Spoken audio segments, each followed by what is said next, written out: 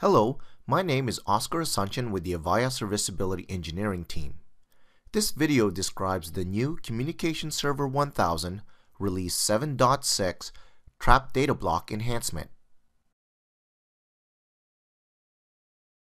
Prior to the Communication Server 1000 Release 7.6, whenever a call server restarts, the trap data block is saved in the slash e slash trace directory. However, only the latest restart is saved. Now, in CS1000 Release 7.6, the call server will save the previous three restarts, allowing Avaya support the ability to better understand the root causes of any restart.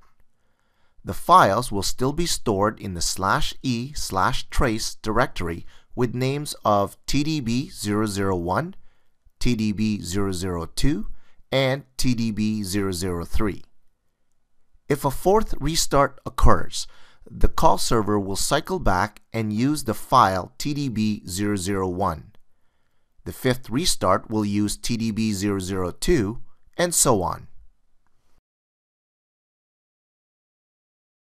To view the contents of the files, log into the call server with admin permissions and enter the Problem Determination Tool shell, also known as the PDT shell, by pressing and holding the Control key while entering PDT.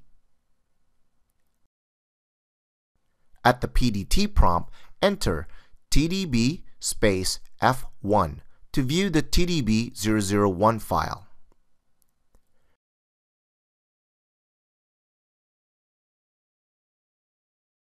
Similarly, you can enter TDB space F2 to view the TDB002 file.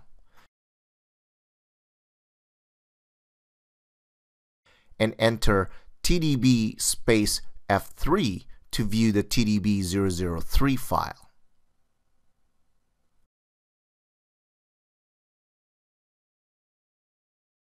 Alternatively, you can enter TDB space FA to view all three files.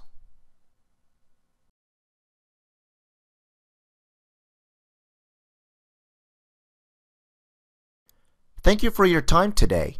We welcome comments, questions, and feedback at mentor at avaya.com or on Twitter at Avaya Mentor.